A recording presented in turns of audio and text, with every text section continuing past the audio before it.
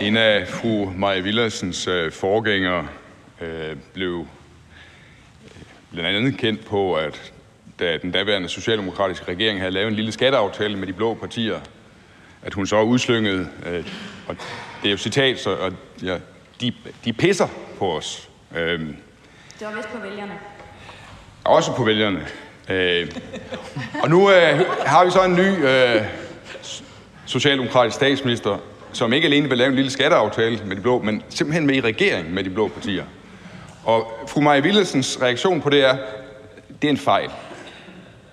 En fejl.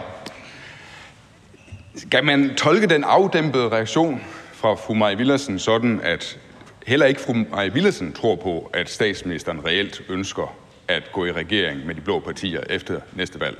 At også fru Maja Villadsen regner med, at statsministeren vender tilbage til fru Maja Villadsen og enhedslisten og laver et parlamentarisk grundlag sammen med enhedslisten? Ordfører? Ja. Hr. Ole Birk Olsen? Så selv blandt de partier, som vil gøre statsministeren til statsminister igen, har statsministeren så lille troværdighed, at når hun går udskriver valg, statsministeren, og siger, at det er med det ønske at få en bred regering, som indeholder både socialdemokrater og venstrefolk og konservative, så selv blandt hendes støttepartier har statsministeren så lille troværdighed, at man ikke tror på hende. Ordfører?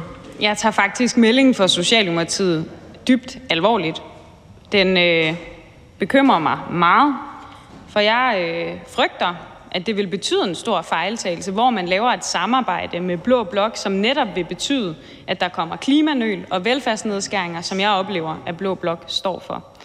Men øh, jeg er da overbevist om, at enhedslisten får så mange mandater efter et valg, og at Blå Blok siger så meget nej, at vi kommer til at få et samarbejde igen efter et valg.